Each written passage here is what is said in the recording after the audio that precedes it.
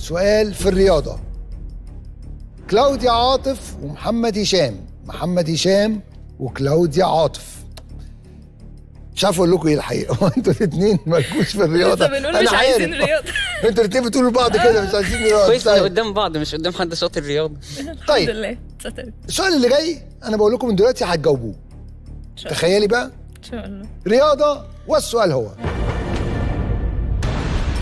جيمي كونرز هو من أكثر اللاعبين حصدا للبطولات في إحدى الرياضات حتى عام 2020 فما هي؟ ملاكمة. ملاكمة؟ رحت بعيد جدا؟ إجابة خاطئة. كلاوديا. تنس؟ والله مش يعني التخمين شغال جامد النهارده.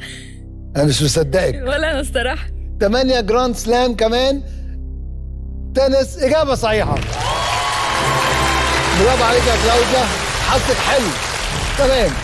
كلاوديا بقى معاكي 30 نقطة. زي وجيه سمير. دلوقتي عندنا سؤال في التكنولوجيا. محمد ربيع.